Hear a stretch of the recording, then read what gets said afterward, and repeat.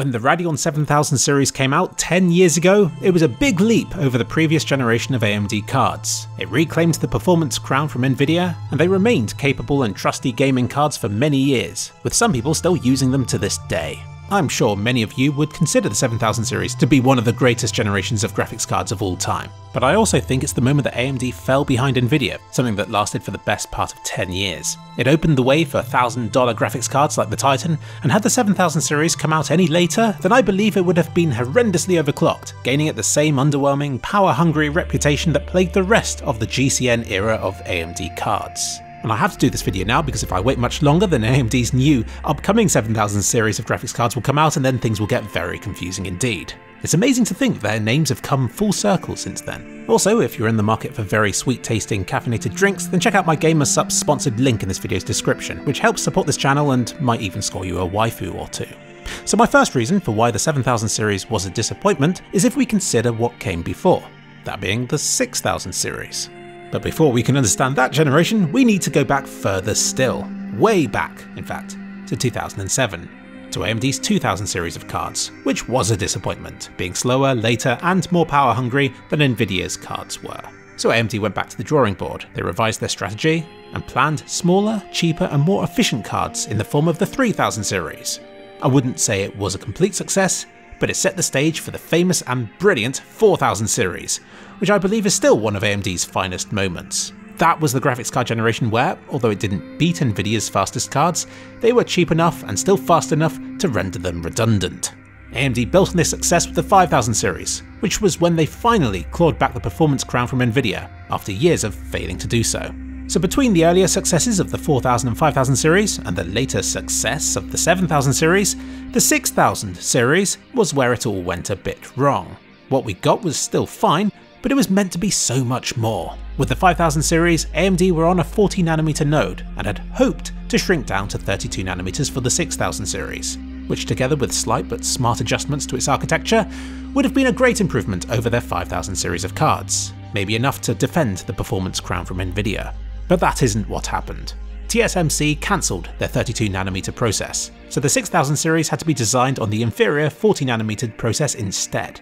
What this meant for AMD was that they could no longer design such elaborate or power efficient cards. A spanner in the works for the 6000 series indeed. So with that in mind, it's impressive what AMD still managed to achieve.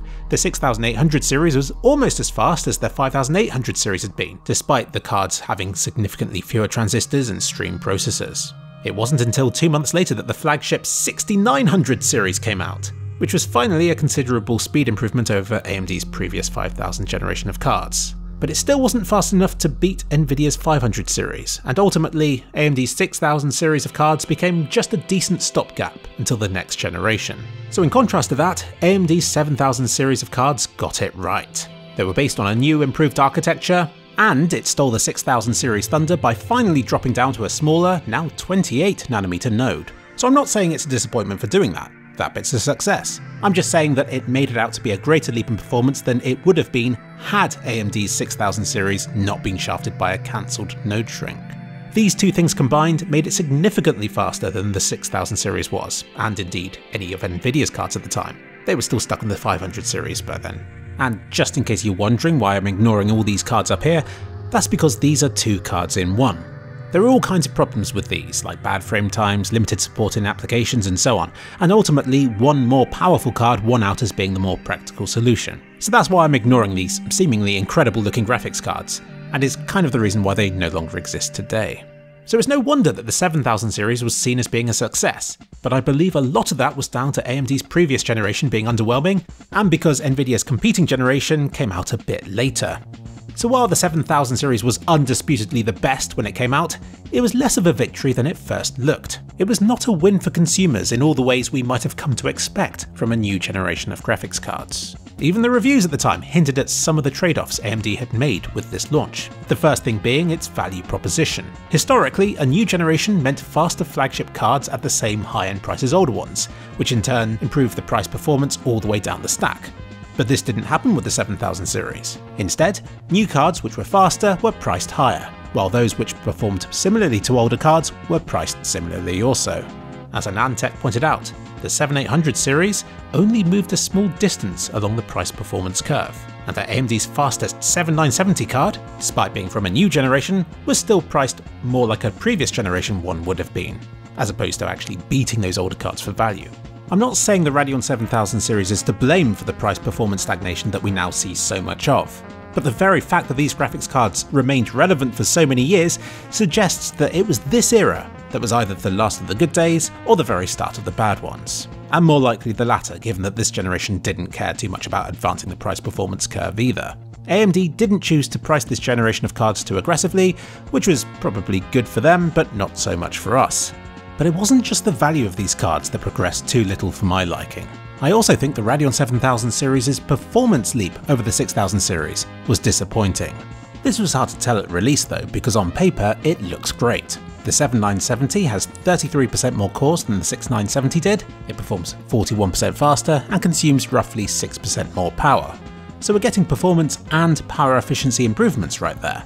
But how much of this is from the new architecture, and how much of it is from the node shrink?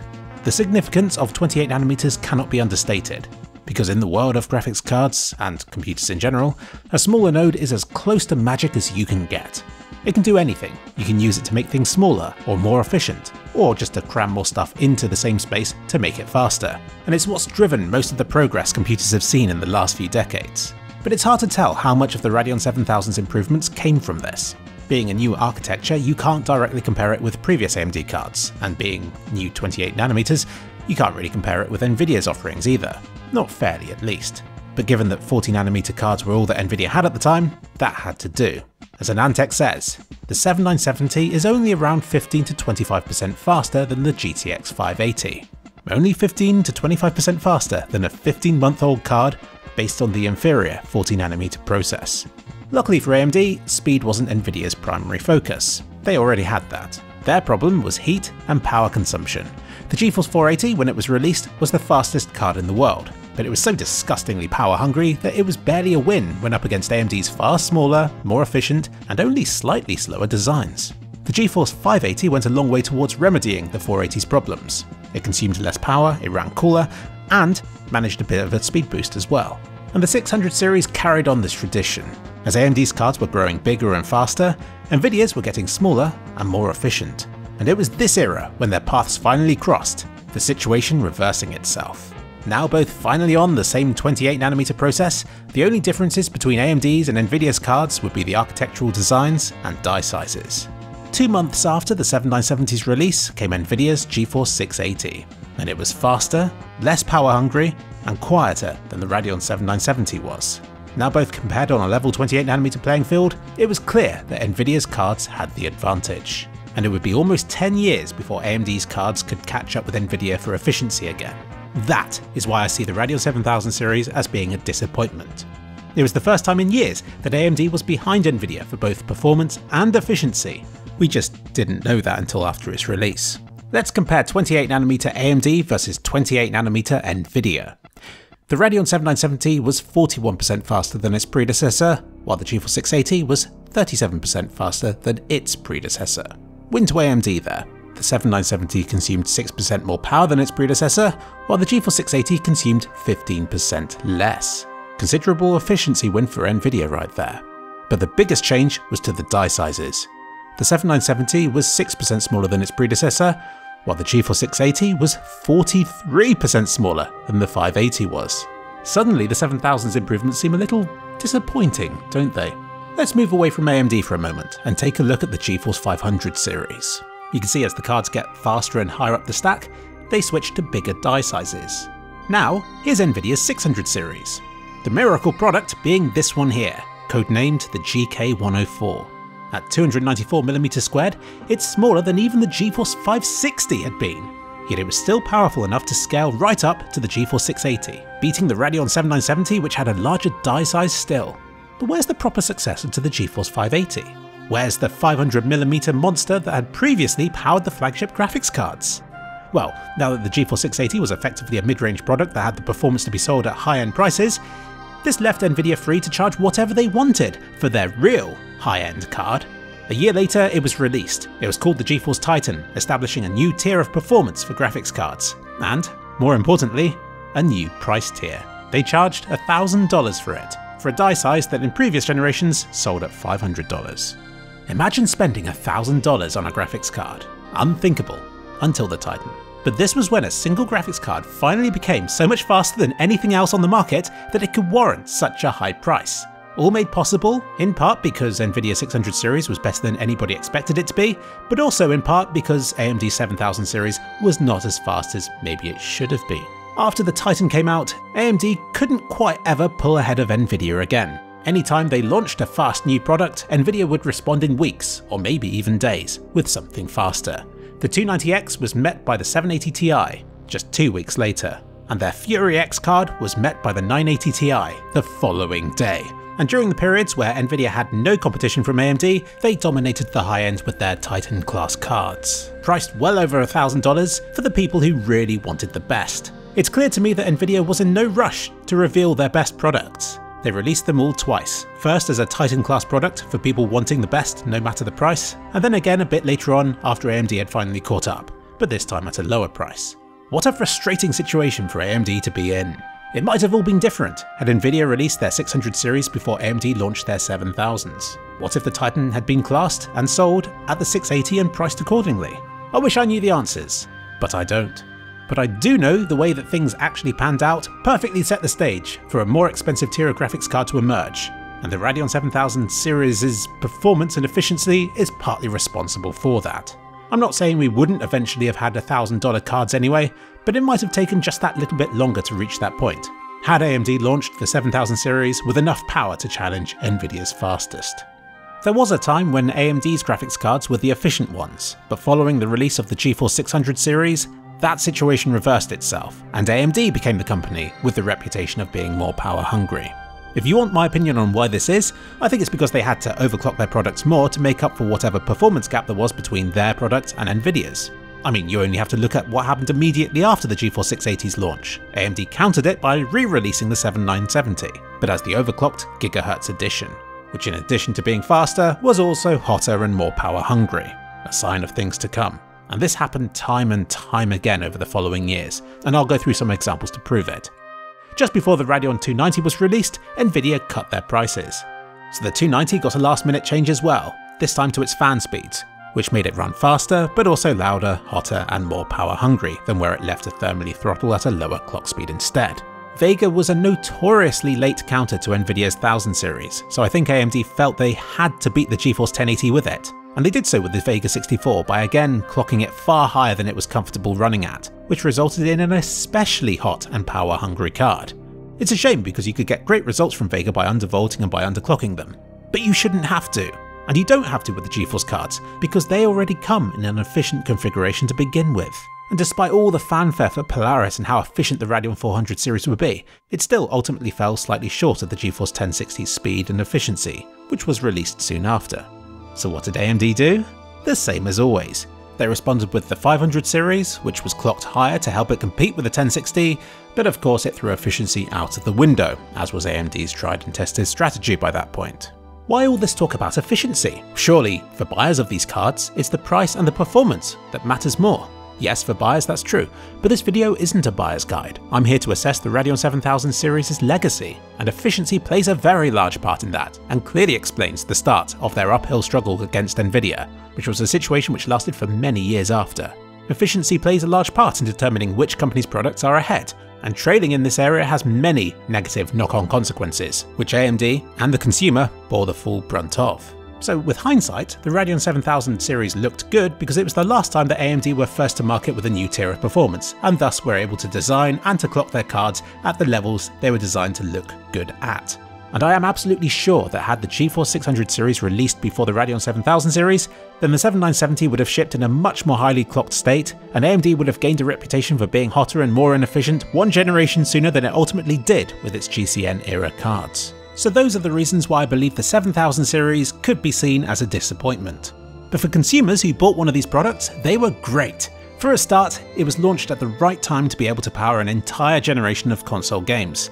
It was based on the shiny new GCN architecture, making it similar to the ones found in the PlayStation 4 and Xbox One. This meant the 7000 series was all but guaranteed to be able to run that generation of games, right up until the next generation was released 8 years later in 2020. This gave the graphics card a very good lifespan, and its drivers were supported right through until 2021. Plus, AMD, ever generous with their RAM allocations back then, equipped the 7900 series with 3GB of the stuff, which was 50% more than Nvidia's 2GB standard on their 670 and 680 cards. Not like it made much of a difference back then, but anybody still on these cards today will be appreciating it now. The GCN architecture proved to be excellent for mining too, so they found a use in the crypto booms that followed, in addition to remaining just decent mid-range gaming cards, still achieving similar performance to the new low and mid-range cards that were released many years later. And while the 7000 series didn't exactly release at groundbreaking prices, the fact that price performance in the graphics card market all but stalled for many years after their release meant that they became good investments, in a way that the generations before them did not. In conclusion, History has been kind to the 7000 series, but I think they showed signs of weaknesses that later AMD graphics card generations were plagued by. And it was only because AMD was first to market with the 7000 series that it didn't gain the same bad reputation for being slower and less efficient than Nvidia's alternatives were. Compared with the eras either side, the GCN era as a whole was disastrous for AMD. No, seriously, it was disastrous, even if the current crazy prices and rampant scalping may make us look back at that era fondly. I doubt AMD feels the same way though. And if you can look through all the current craziness and at AMD's current underlying architectures, it's clear that with RDNA, they're in a better position now than they have been for many years. Replacing GCN with RDNA did wonders for their card's efficiency, and RDNA 2 has taken further steps to help catch up in other areas as well. Hopefully you've enjoyed this sort of retrospective look at graphics cards. I am a big fan of looking back and at telling stories that wouldn't have been possible without hindsight. And I think there's value to doing this. For instance, I'm seeing a similar situation occurring right now with the latest generations of graphics card. Currently, AMD and Nvidia are virtually neck and neck for rasterization performance. But just like with the Radeon 7000 series, AMD is relying on a superior node to get them there. So the worry right now is that if Nvidia were to switch to the same node as AMD's using, that they would be ahead again. We'll just have to wait a year or so to find out, and then maybe 10 years before I construct a similar video about this current situation.